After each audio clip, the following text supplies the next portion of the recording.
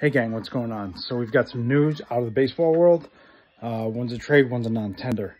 The non-tender happens to be a little bit more significant than the others. But anyways, before I get into that, I would like to thank everyone who has subscribed. And if you like this kind of content, please hit that like, subscribe, bell icon buttons, and share buttons. Um, it's greatly appreciated, very helpful for the channel.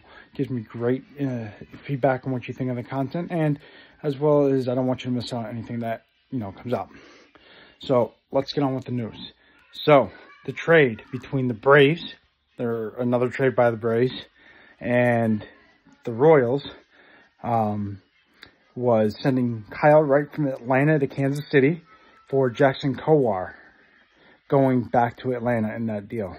So the Braves make another trade and trade another pitcher away out of Atlanta, or trade a pitcher away for uh, out of Atlanta and the non-tender was the Milwaukee Brewers non-tendered Brandon Woodruff a contract for 2024. Uh, it's impactful because uh, he's expected to miss uh, at least half the season, but uh, he's been non-tendered a contract for 24 by the Brewers. So let me know what you guys think of these. Uh, this was news, and let's get into it. Until next time, have a great rest of your night. Over and out.